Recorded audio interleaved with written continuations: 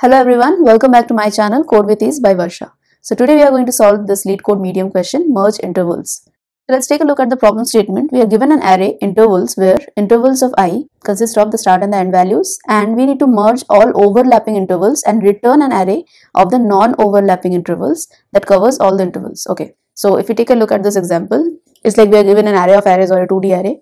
So all of them in each array, the start and the end, there are two indices. So zero indices so the first index represents the start index and the last index is the end index. So like that we are given the intervals. So among all the arrays which is given to us, we have to return another array as an output in which the intervals are getting merged. The overlapping intervals are getting merged. What is meant by overlapping intervals? Like for example, 1 and 3. It starts from 1 and 3.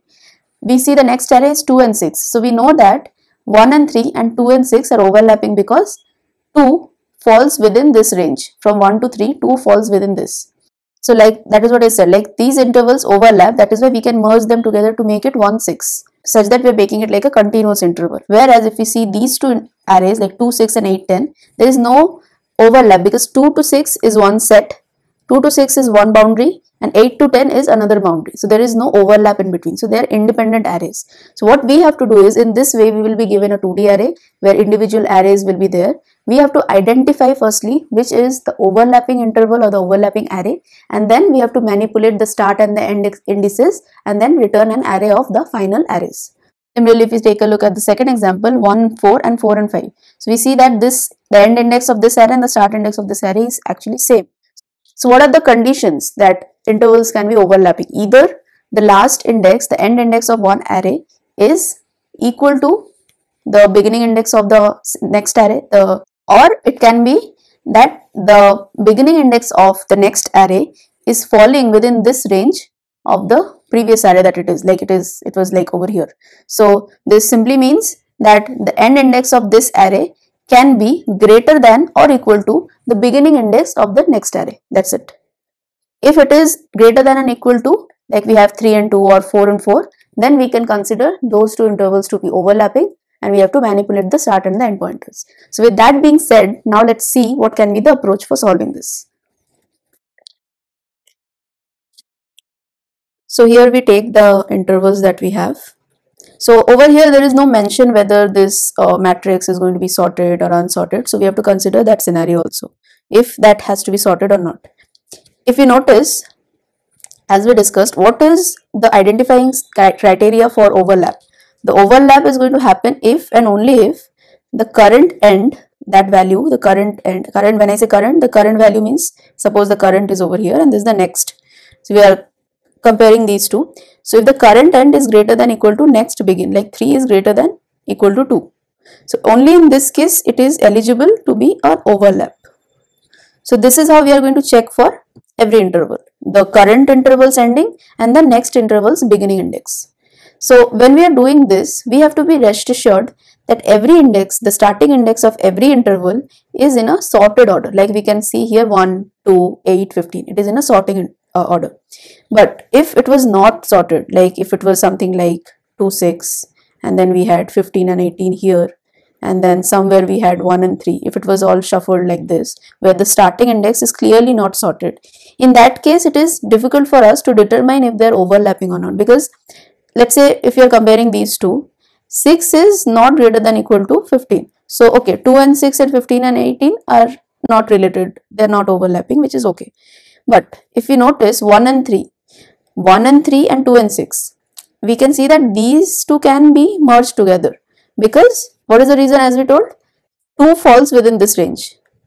So we can merge these two. Like we told that 3 is greater than equal to. So our condition, whatever we have written, this is getting violated whenever there is not sorted. That is why the first thing is we need to sort it. So we are going to sort it. How we are going to sort based on the beginning index, all of that we'll see later. So first thing we have to understand is we need to sort it with reference to the beginning index. With reference to the begin index. So that is done. So we have sorted. Now when we are sorting obviously our time complexity is n log n. So that also you have to factor in. Okay. Next what we have to do? We have to return a mat matrix only. So we we don't know right now what the size of this could be because we don't know what at all can overlap and all of that. So we'll take a dynamic data structure. So we'll take a list. So into the list we are going to first input the current array that we have So ARR of 0, we are going to add this to the list. That is 1 and 3 is now at the list. And let's say we call this as current. So far so good. Now we have a for loop which we are going to iterate through the matrix which we have.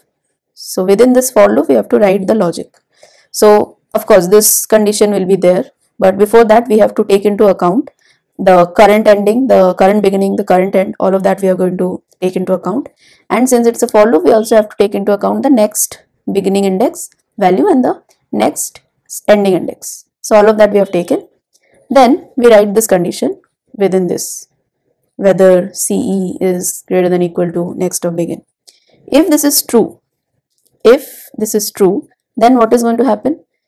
this current is already holding in inside this list which we are eventually going to return this is anyway uh, going to hold the values which is 1 and 3 if my condition is true what I, why I, what I have to do my starting index is still going to be the same because we have already sorted all the arrays so 1 will still remain the same what has to change is this value the ending index value. When I have to merge two intervals, the ending index value has to change. And what is this value going to be? It is going to be the maximum of the current ending that we have, CE and the next end, uh, next end, the maximum of 3 and 6. Whatever is that going to be, that is what we are going to update in this list.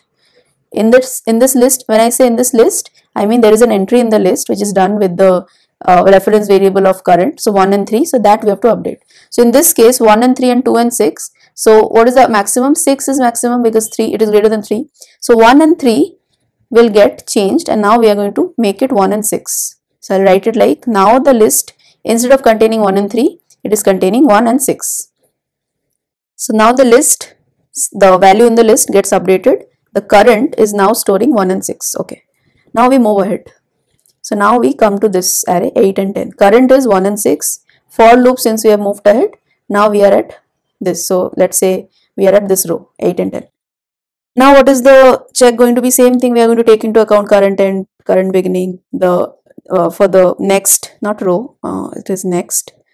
So next starting, next next begin, next end and all of that we are going to take.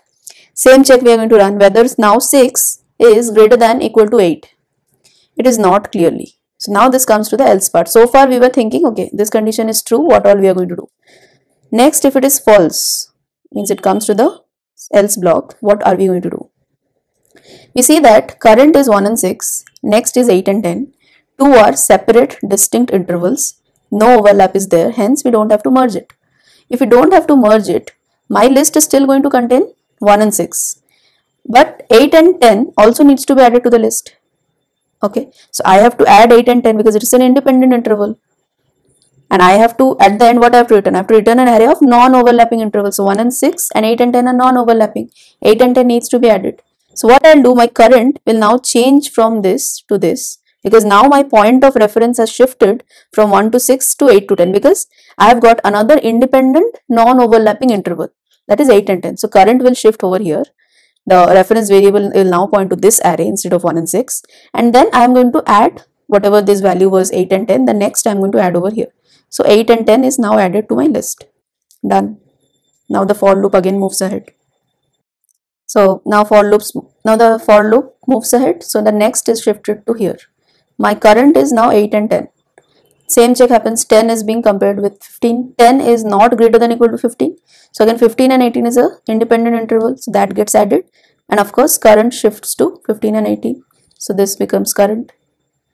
Now for loop moves ahead and we have anyway reached the end of the matrix. So we are done with this. So, and this is what we are going to return at the end which consists of 1, 6, 8, 10 and 15, 8. Same as this result. So this is the approach plus the dry run. We have clubbed both of that uh, together. So the basic idea over here is in order to identify how to identify whether intervals are overlapping. And if they are overlapping what are the next further steps that we have to take? That is all about this. Now let's write the code for this. Okay so now we're going to start with the code. So the first thing that we are going to do as we discussed is we're going to sort this array. And we're going to sort this array on the basis of the begin index. So we'll use this built-in method arrays.sort the first parameter is going to be the array which you want to sort so when we are going to use a, a custom sorting approach we use something called a comparator This is a shorthand that we use. So we want to compare with reference to the begin index. So what we will do, let's say we'll put these two variables as if we are comparing array 1 and 2 because we are comparing all the 1D arrays, right, internally. And then use the lambda expression. So within this, what we are doing, we are going to compare this and then based on the begin index. So ARR 1, 0 minus ARR 2 of 0. So when I say 0, it is obviously going to be the start of the begin index. So on the basis of this, the comparison is going to happen and then it will be sorted accordingly in ascending order. Okay, so if you guys want me to make detailed video on comparator, comparable, how the custom sorting works and all of that, do let me know in the comments. Okay, so moving ahead with this, next thing is we need to define the list which we are going to return. Uh, we're not going to return the list, we're going to return a 2D array only, but as of now, let's take a list. Next thing is into the list, we first are going to add the first 1D array. So we are also going to define that using the current, uh, like we discussed. So the first 1D array, when I say it is intervals of 0, that is going to be the first point of reference. And the same thing we are going to add it to our list also. Next, we'll start with the for loop. So we'll write a for each loop. Since we are iterating through every 1D array, so we are going to say for every row. In this, we are going to take, first of all, the current end, which is going to be current at the one 1th index. Then we are going to take int next begin, the first index of the next interval. And finally, we are also going to take the next end, which is interval of 1. Then we are going to run the if condition that if current end is greater than equal to next begin, if this is true, like we discussed, we are going to update the ending of this, this current. So current of 1, we are going to update it to the maximum of the current end that we already have or is it going to be next end? Whichever is maximum that is going to be updated like we discussed for 1 and 6. 3 and 6 will be compared, whatever is greater will be updated in the current end. So that is being done for otherwise what we will do current will now point to the next interval and we are going to add that to our list whatever the new independent non-overlapping interval we got we are going to add that to, other, to our list so output dot add current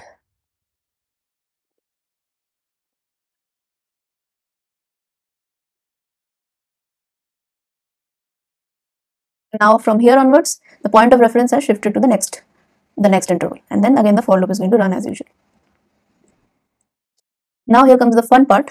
Now that we have everything into this list outside of this for loop, now we have to convert or we have to print, uh, we have to return the 2D array instead of the list. So how are we going to return that?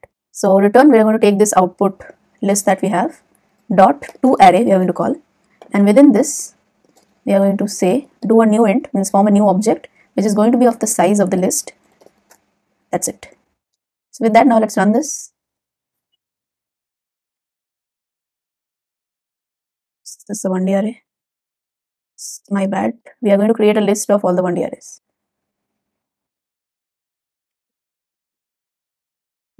I missed the bracket here. Okay, finally it was accepted.